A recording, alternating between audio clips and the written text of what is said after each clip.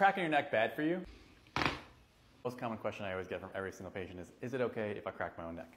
And you go like that. Cracking your neck on your own is not the best thing to do. So what I don't like, what most common pe- way people do it, let's go like this, and then they push. So what you're doing is you're just getting to end range, you're just pushing, and then you're just overextending ligaments, which is not good over time. So what it's to do, it's to wear out the joint, it's to wear out the ligaments that hold everything together. You're to build up hypermobility. The joint's to move way too much, and it's to make the neck unstable over time. And it's to make you predisposed to arthritis over a long period of time.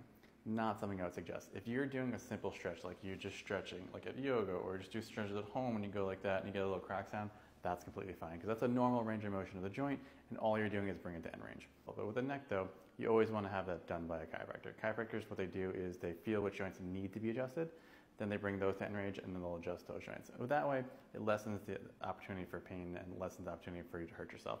It's not something you want to do on your own. A professional should always be doing this. Simple way I would do it is if you just want to get, if you're looking for a crack sound, is just put your hand behind your back, hand over top, gently pull to end range. If you feel crack, great.